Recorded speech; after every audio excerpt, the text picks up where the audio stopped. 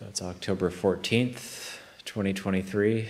It's a uh, Saturday night and also the new moon lunar observance day, what we call Uposatha day. And it's also Pumpkin Fest in Ukiah. Uh, we found that out on Alms Round today. That uh, we just we we were going down State Street and the side streets were closed off, and apparently, well, a lot of Ukiahans were out on the street waiting for the parade to start. So we were walking down State Street, walking past everybody, and we got to the Days Inn probably about five minutes before the parade started.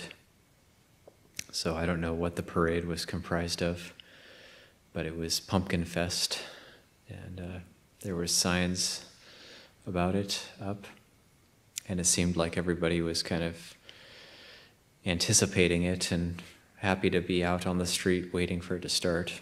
So whatever it was.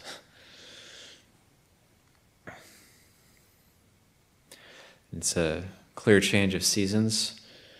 It's a bit cooler.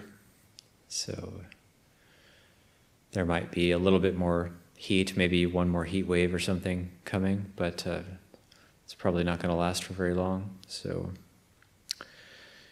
feel like the cool part of the year has started. There's been some rain, a little bit of rain on and off. And we've got a couple weeks left in our Vassa period.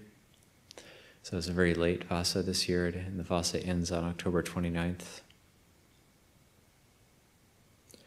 So there's uh, taking of precepts, and I was thinking a little bit about this that uh, the lay people can hold the five precepts or can come to the monastery and take on the eight precepts, the renunciate precepts. Uh, the novices hold the ten precepts, they give up the use of money. The monks hold the 227 precepts, which are around uh, mindfulness and composure. They're uh, very good for mindfulness. And so, for those of us who hold whatever level of precepts we hold, to ask ourselves what is it in us that makes us hold those precepts or that gets us to hold the precepts? And what is that quality that gets us to hold the precepts for a long time? And we become precept holders when we hold those precepts day after day, week after week, month after month, year after year, and through all the changing seasons and all the different changing mind states and as our bodies age and we train ourselves and mature in various ways and we keep these precepts, and we do that long term through all the different mental states, and that, that really is how the mind gets trained. We keep the precepts. And it really changes us, it can change our character. And uh, when we keep these precepts for a long time. So the Buddha used this phrase, sila saddha sampano, which means the precepts are perfected through faith. The precepts are kept through faith. We keep them out of faith and confidence that, that it's going to bring benefit to, to ourselves and bring benefit to others. So at first, we follow these out of faith. We have faith, we have confidence. And it's not a blind faith because perhaps we've seen the benefits in others. We've maybe been to Thailand and met some of the great ajahns there, or we've met senior Western monks and uh, seen the benefits of keeping the sila, keeping the precepts long term. And so that might have given rise to a spark of faith. And then we have faith also, not only does it lead to this keeping of precepts, but it also leads to a quality, in Pali we call it karawa, which means respect. And we, uh, Luang Por Liem likes to use the phrase samma karawa, which is right respect, proper respect. So, uh, so in Thailand, there's these gestures of respect. People have forms and gestures. We have the bowing and holding the hands in Anjali. These are gestures of respect that when we have a mental state of respect, there's, there's gestures for expressing that mental state, for expressing that lovely mental state. And Tan Ajahn Jeff likes to say that uh, respect is a sign of intelligence. So we show respect when we we take notice. Yeah. We recognize goodness. And when we recognize something that's good, then we it's only natural that we want to respect it.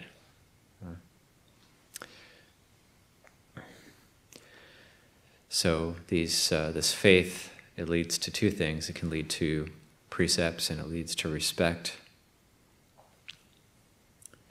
Faith, uh, the word the word faith is what's normally saddha is translated as faith. But it also has a sense of confidence, and it needs to be coupled with wisdom, discernment. So those things are, they balance each other out. Uh, and sila, uh, sila actually isn't precepts itself, what we the precepts themselves are called sikkhapada or training guidelines, training rules. So we that's why we do in the chant the sikkhapadang samadiyami. I undertake this precept. The uh, sila is the internal state that comes about through the keeping of the sikkhapada, through the keeping of the precepts.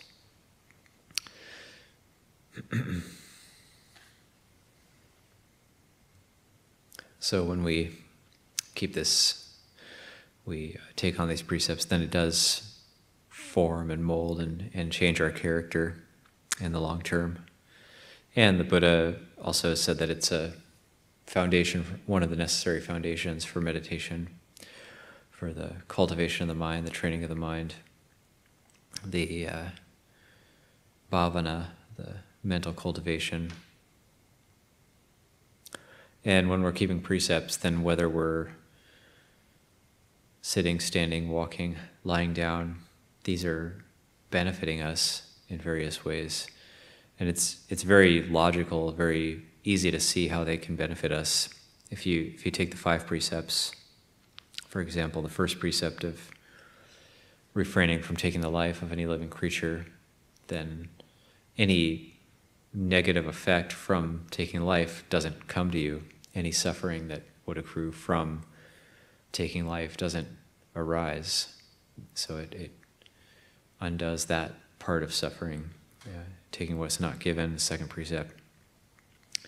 We don't then come into contact with any suffering that would arise if we were to take what was not given or uh, the third of the five precepts is not committing sexual misconduct, so having integrity in our relationships, not cheating on our partners, uh, not having those types of affairs. And so we don't come into contact with any suffering or stress which might, which will come to us if we don't keep that precept. So it cuts out a whole lot of suffering and stress. The fourth precept of refraining from dishonesty, refraining from lying, that uh, cuts out a whole bunch of dukkha, a whole bunch of suffering, a whole mass of suffering. Just imagining that uh, any suffering that comes from, that happens when we are dishonest, that won't come to us.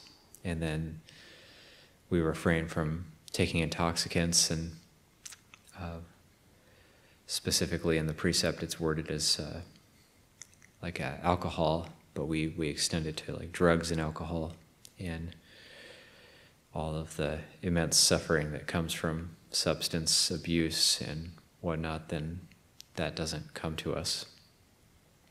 So even just something like the five precepts really cuts out a whole mass of suffering just through virtue of keeping the precepts, not even to speak of mental cultivation. So we use our logical, rational mind and we see that benefit, and that, that gives rise to saddha, which is we're translating as faith, but it's not a it's not like you have to have faith in this. It's it's more like uh, confidence. I, uh, maybe it's not exactly confidence. Also, as conviction, maybe could be conviction.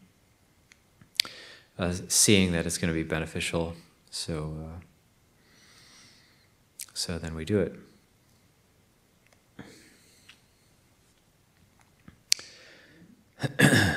There's also this uh, quality of generosity that the Buddha speaks of, and there's these various types of giving that are that are important to be cultivating in the practice. So this is also one of the foundations of the practice. In addition to sila, in addition to this thing we call virtue, then uh, dana, the the generosity, is also a big foundation for us.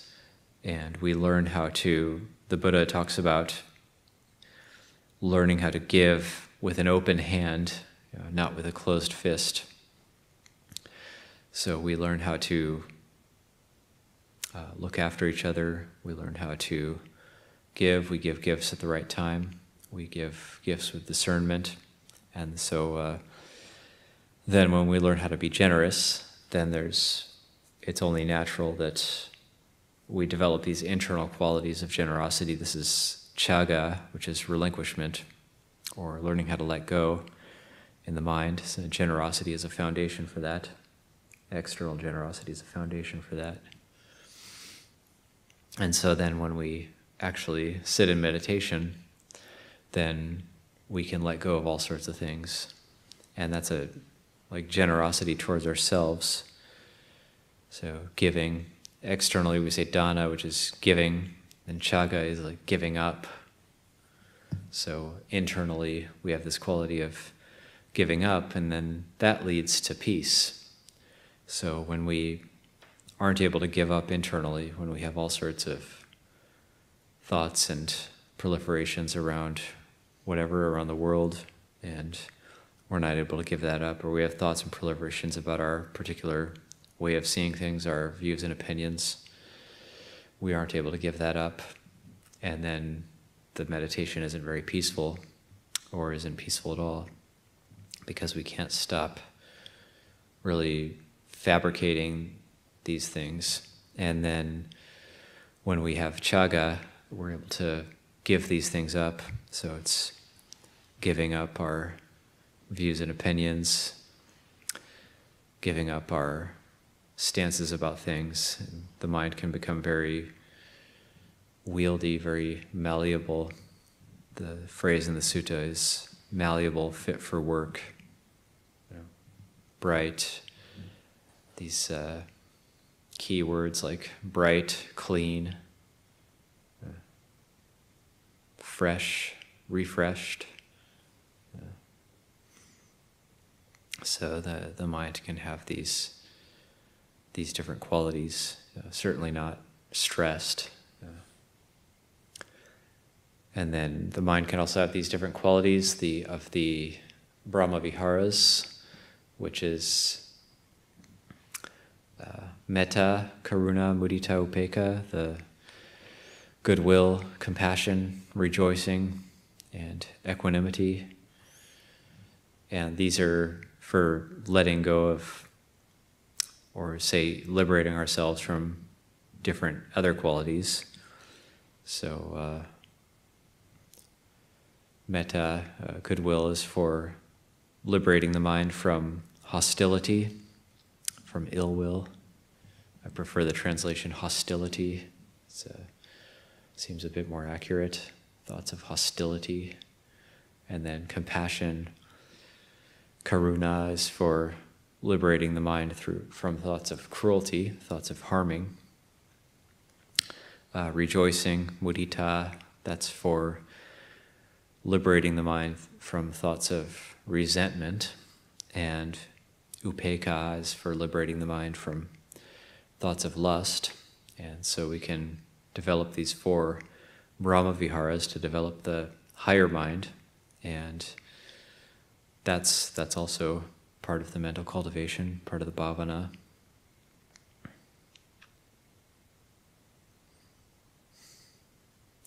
Yeah, and it's kind of mysterious why we do these things, why we feel inspired to practice, to, and then why we stick with it. So, uh, and the Buddha talks about also about doing this practice and say you have, so you have dana, then you have sila, bhavana, and then with these these different qualities, then uh, he talks about the possibility of, of the mind being liberated from suffering.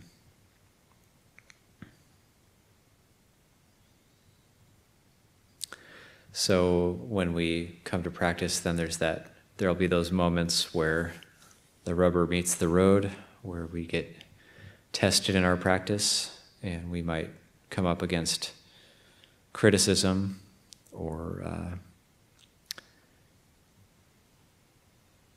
or something disagreeable happens to us, or some sort of disagreeable interaction in the community, and then that's where we get tested in our in our practice. Where's our where is our practice actually at? And or when we feel like there's some sort of difficulty, like we're maybe we fall ill or we feel tired or there's some sort of pain in the body how do we uh, how do we respond to that? So letting go is also has a meaning of skillful response. So how do we respond to these uh, to these different states that uh, that arise in our lives? And this is a quality uh, we call khanti or, or patient endurance. So uh, that's, uh, that's also a very important quality to have as we go about the practice. Uh, it's kind of interesting when the Buddha gave Dhamma talks to lay people, he didn't tend to talk about meditation so much or the bhavana aspect, but he did talk about dana and sila.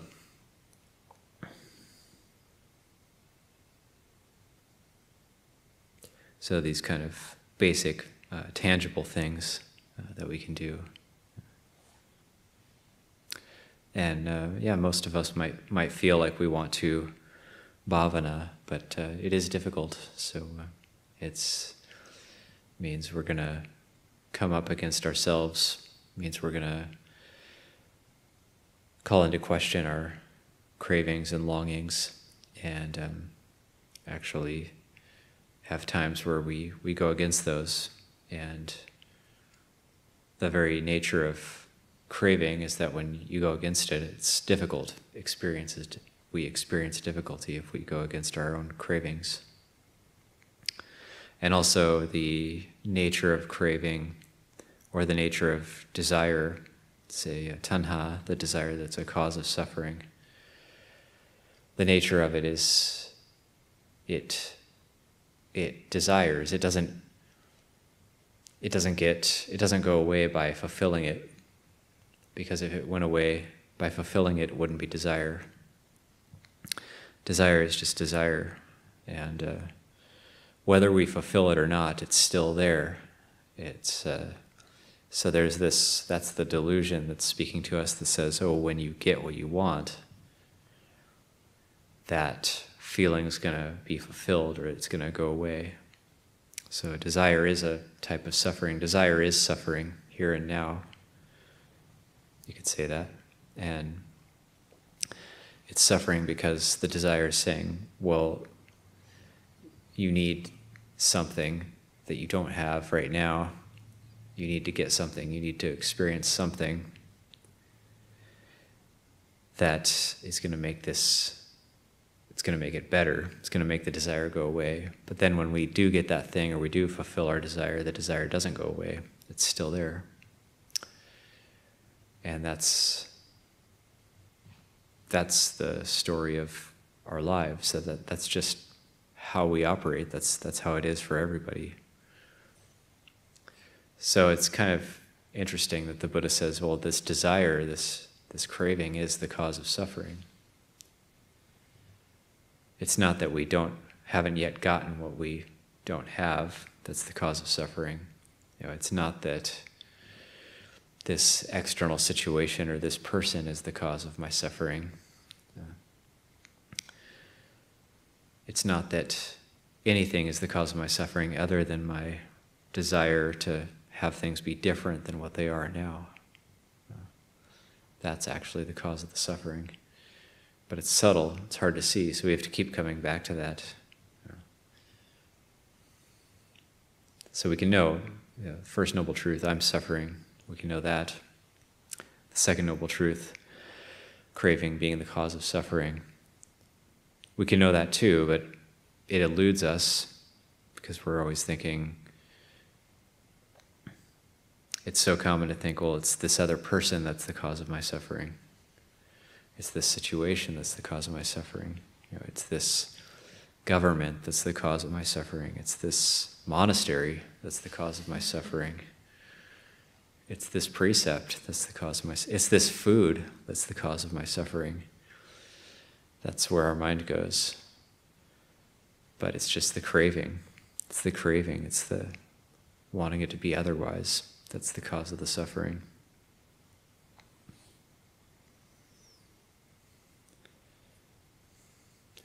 It's that I'm not enlightened yet that's the cause of my suffering. So we can even we can run ourselves around in, in circles like that.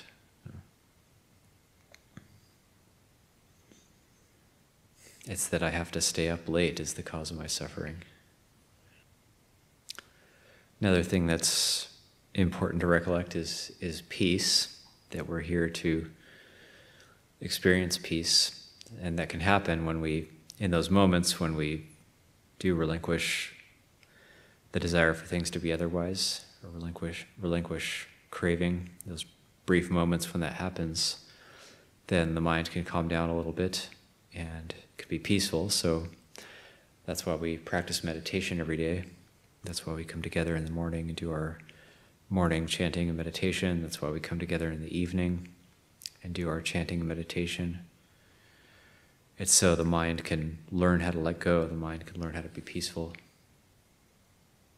It's not really for anything else, it's not to achieve something really great. But it's just it's just so the the mind can learn how to be peaceful.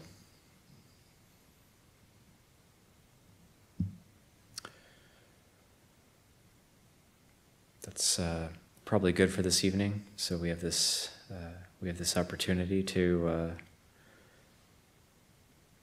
to practice this evening, and um, I think I'll uh, I'll leave it there.